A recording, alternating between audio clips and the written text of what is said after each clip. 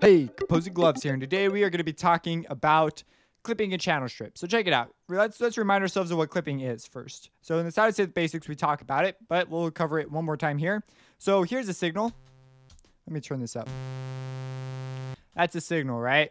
And right now, it is being clipped. That's it, unclipped, ironically. So it's being something else is happening in that scenario. That's what we're going to talk about. So here we have a signal, right? Let's turn it down to regular and sounds like that. If we were to clip that signal, we'd basically chop off the bottom and top part of that waveform.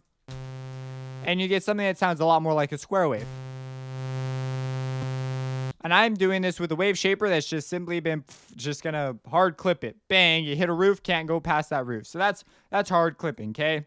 Now, when you do, when you go above uh, the limit of your system, like if we go above 0 dB here, we are going to clip. However, uh, what if we clip in a channel strip? See, your master, your master's been configured because that's kind of what you're going to be sending out of the real world. That's where you're going to going to be converting.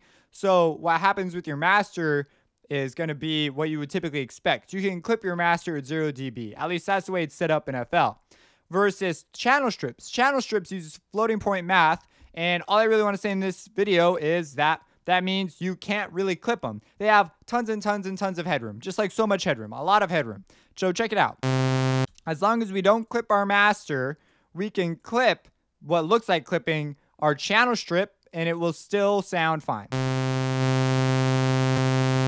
Sounds like the same exact thing.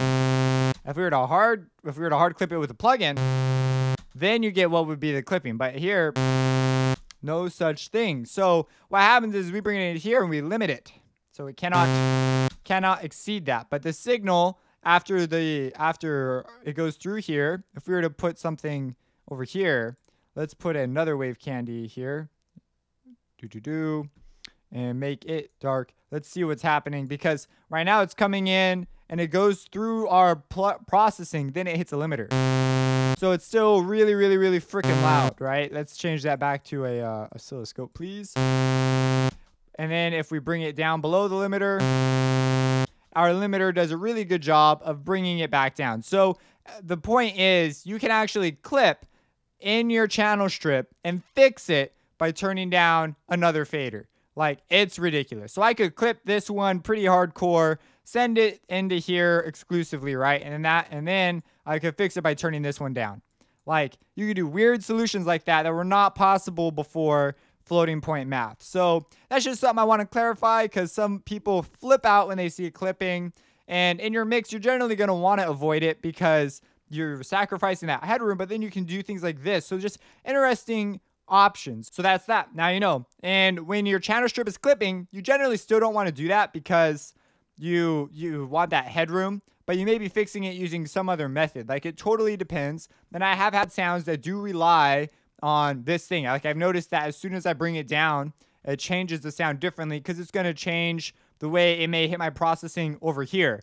So if I had more stuff going on in this in this channel, it would change that. So that's kind of just something interesting. A lot of people sometimes they see clipping, they just they just flip out and you know chill out. The one you need to be really concerned with is your master. However, you'll see in most of my mixes that I do not regularly make a habit of clipping. It's usually only if I did some sound design and had it that way and I noticed a substantial change when I change it. In that case, you may consider just recording it and then mixing that. But that's that. If you have any questions, let me know. If you have any, you know, any information you'd like to add, let go ahead, comment away. Let's let's hear it. I'm excited to hear what you have to say. Subscribe and have a blessed day.